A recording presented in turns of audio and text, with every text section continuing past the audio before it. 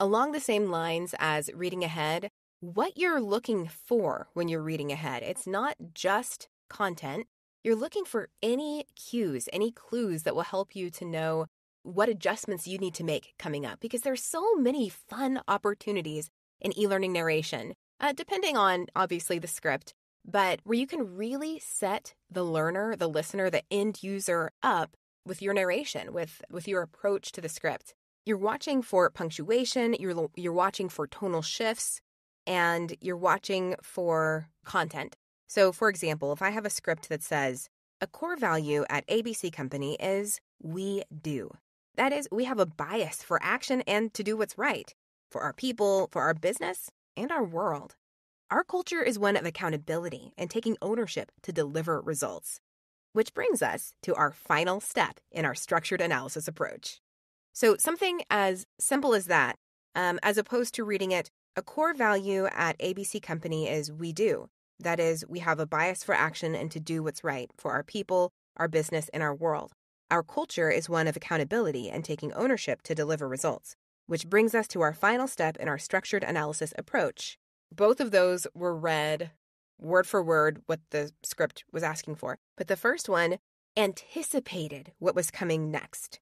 So these little things, these ellipses, you know, a core value at ABC Company is we do. That is, we have a bias. So just that little pause with that is, and and the way that the that is is said, right? It's not just a core value at ABC Company is we act. That is, we have a bias for action.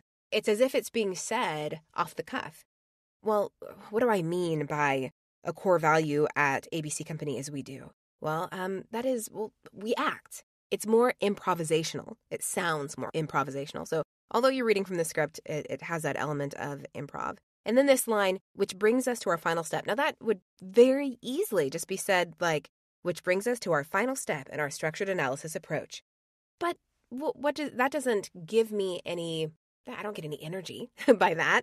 And it doesn't sound like I really have an opinion on that. It doesn't sound like I'm really wrapping things up, as opposed to, which brings us to our final step, or which brings us to our final step in da da da. Something that sounds more like I'm actually going to, all right, we're we're rounding the last corner here. And all of that comes from this exercise, this practice of reading ahead and watching for those cues so that you can intelligently intonate what's coming up in a way that is consistent with what you claim to do for the client, which hopefully is to deliver a really high quality and enjoyable e learning voiceover.